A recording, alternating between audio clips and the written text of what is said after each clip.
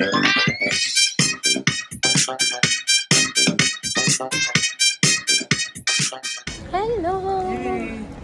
Hi guys हम लोग आज निकल पड़े हैं स्ट्रैटफोर्ड के लिए। हम लोग एक्चुअल में एक गुजराती मूवी देखने के लिए जा रहे हैं dear father so see hello तो जैसे कि आप लोग देख सकते हैं कि अभी इंटरवल चल रहा है और हम लोग डियर फादर मूवी देखने आए हैं।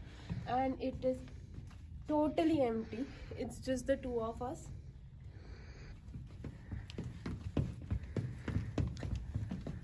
ये अगर कोई बॉलीवुड मूवी होती और कोई डांस सीक्वेंस होता तो मैं यहाँ डांस करती।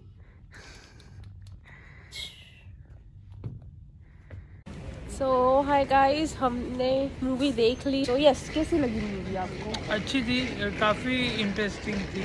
थ्रिलर कहूँगा मैं तो। एंड एंड तक पता नहीं चला कि आ, क्या exactly चल रहा है।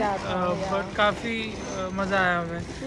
पहली बार कोई मतलब गुजराती मूवी मैंने लंदन में देखी है। आ, मैंने भी। हाँ, तो इंटरेस्टिंग एक्सपीरियंस था हाँ। एंड परेश रावल सर ने बहुत अच्छी एक्टिंग की है।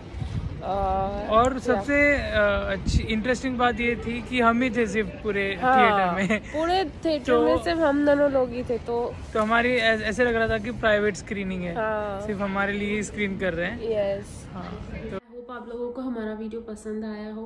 Please like share and subscribe करें। So stay tune till the next video bye bye